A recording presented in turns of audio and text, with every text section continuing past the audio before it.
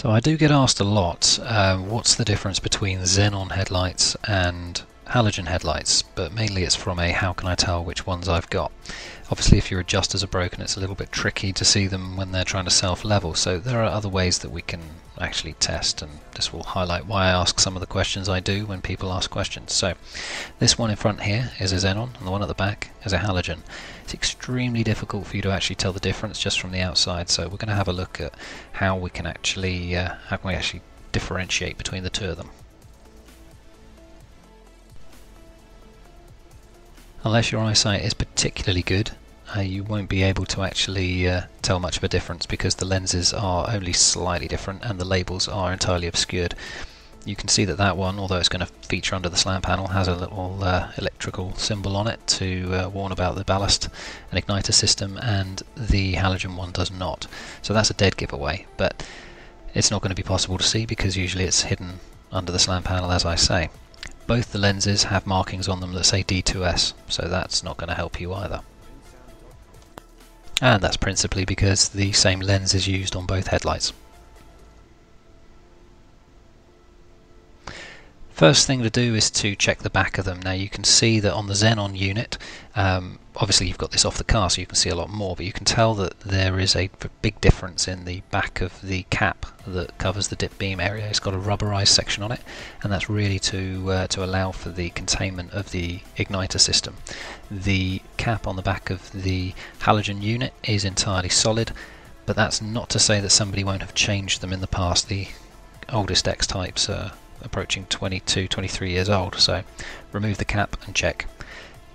So even if you can't visibly inspect it, you'll be able to feel that there's an igniter block on the back of it. That will be the biggest difference. On the halogen side, you've literally just got a bulb with some wiring on it. So that should be possible for you to tell the difference either by sight or touch. You can also tell that the leveling motors are very different the wiring leading to the xenon one is 4 wire, whereas the one leading to the halogen one is 3.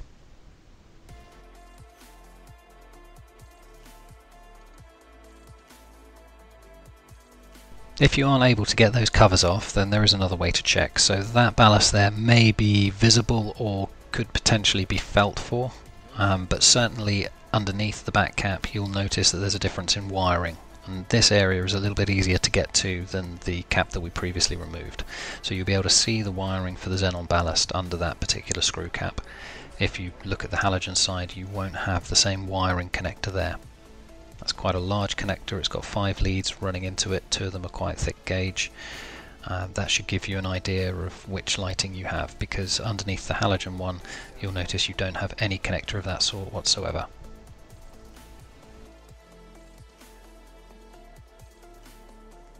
There is another way to check and that's by looking at your headlight switch. Now if you have the switch on the left hand side chances are you've got halogen lights but there are markets uh, somewhere in, in the world outside of the UK, Europe, Japan, Australia uh, which will use a xenon style of switch with halogen units that don't have any leveling whatsoever. I've not yet come across halogen headlights that do self-level but they may well exist uh, but certainly this is a good guide. If your switch looks like the one on the left, you've got halogen lights.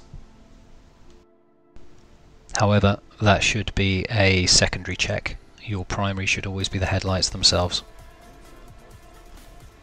Hopefully that's been uh, of some use to you, um, it's been of some help, uh, given you the guidance that you need. Uh, please feel free to like, subscribe, comment, you know, offer your ideas on what else I need to cover just to make things a little bit easier for you guys to work out what you've got.